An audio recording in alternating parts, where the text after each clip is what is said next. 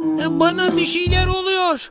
Kafalarınızın üzerinde kalan haklarınızı görüyorum.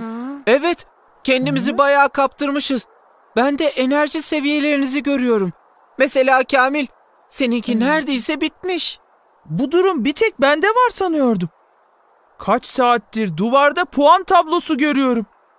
Ben kaçıncıyım o tabloda? Hayriciğim, Anana git sor.